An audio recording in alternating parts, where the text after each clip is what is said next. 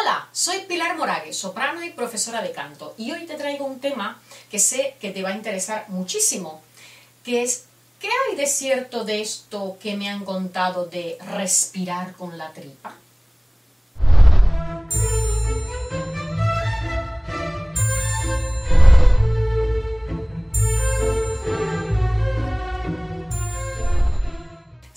Sé lo que estás pensando, que esto de cantar con la tripa es lo que siempre te han dicho que era lo ideal. Pero en realidad, ¿qué es para ti respirar con la tripa? ¿Se puede respirar con la tripa en primera? ¿Qué hay de cierto en la respiración diafragmática y sentirlo en la tripa? De todos he sabido la enorme importancia de la respiración en el canto, ya que a partir de ella fabricaremos el sonido como siempre decimos, somos un instrumento de, aire. Todo comienza con coger aire y depende de lo que hagamos con él.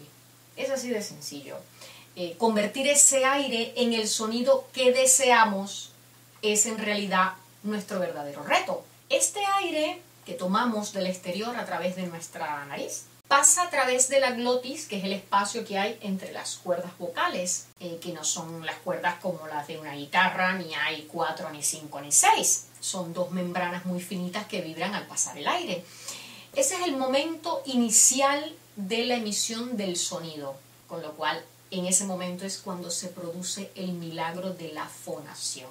Fonación, palabreja, viene del griego fon, voz y sion, que es acción que produce. El aire solo se puede almacenar en nuestros pulmones. Y tenemos que dosificar la cantidad de aire que vamos a requerir según la frase o el sonido que querramos utilizar. Con lo cual no es necesario que llenemos nuestros pulmones a tope, su máxima capacidad. Esto no es necesario porque esto solo nos traería mareos y un sobreesfuerzo innecesario. Si no has visto mi vídeo de la respiración del yoga aplicado al canto, te invito a que lo hagas. Es una entrevista que le hice a mi profesora de yoga, Patricia de Santos, y hablamos de los tres tipos de respiración en el yoga. Esto es muy aplicable al canto. ¿Por qué? Pues ahora te lo voy a contar. Hablamos entonces de tres tipos de respiración. La respiración baja, que es esta que sentimos que la tripa como que se ensancha, que va para adelante y para atrás.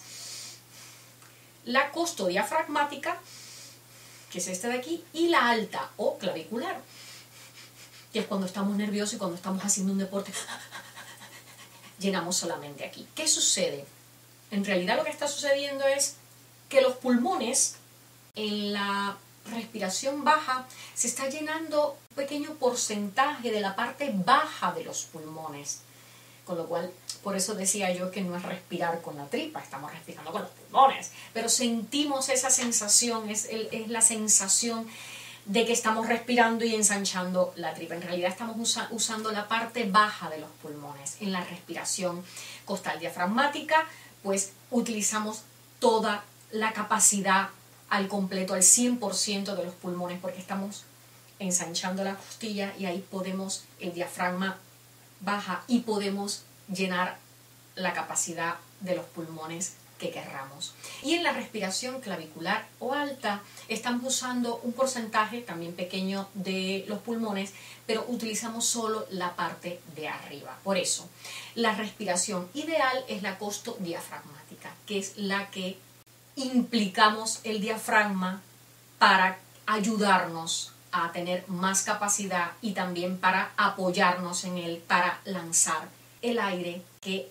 haga vibrar las cuerdas vocales y que produzca el sonido. Como en el canto eh, se utilizan tantas imágenes para crear sensaciones en tu cuerpo, pues algunos creen que al hinchar la tripa ya estás respirando con el diafragma, pero hay que tener muchísimo cuidado con esto. Hay que sentir más bien cómo el diafragma se mueve ampliando los pulmones en su máxima capacidad de almacenamiento y desplazando los órganos abdominales. Quizás por eso la idea de que hinchas la tripa, porque estos órganos se desplazan. Pero es la sensación en la parte media, recordar que es la posición eh, es la sensación que tenemos que sentir en la parte eh, media, esa sensación de que el diafragma, que es un músculo grande, como una especie de paracaídas, que divide la cavidad torácica del abdominal, hace falta que sientas eso, pero más bien como, como un abrazo, esa sensación de cinturón, de ese paracaídas enorme que se abre para dar aún más capacidad y que te, también te puedas apoyar en él. Entonces es fundamental centrar nuestra imagen y nuestra sensación en ese músculo y no precisamente en la parte baja, en la tripa, en esos órganos que se desplazan. Es la sensación y la idea de siempre el diafragma, de ese músculo que está ahí cuando javiamos, por ejemplo.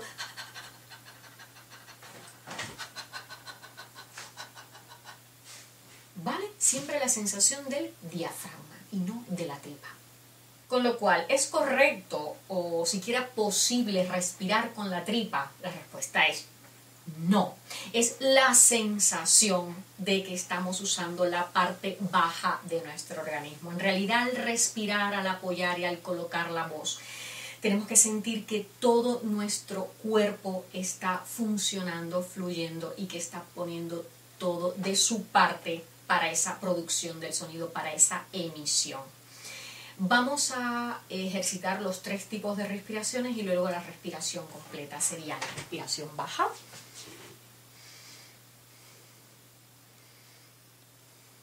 la costodiafragmática, que es donde se ensanchan las costillas,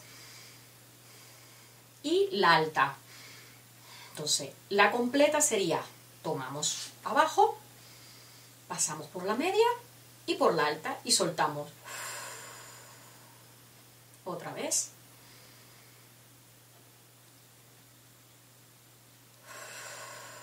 Esto es un ejercicio que te aconsejo muchísimo que hagas para poder ampliar tu capacidad respiratoria, para cuando estás muy nervioso, para cuando tienes un poco de, de, nervios, quizás al entrar al escenario, una clase, una audición, respira, relájate haz que se oxigene todo tu organismo. Y como siempre digo, disfruta de tu canto. Espero que te haya gustado el vídeo, que te hayan quedado muy claros los tres tipos de respiraciones que no respiramos con la tripa, sino por supuesto con nuestros pulmones, que puedas hacer estos ejercicios que te valgan de muchísimo. Si te gusta me dejas un like, si no te has suscrito por favor hazlo, me dejas algún comentario. Y no dejes de cantar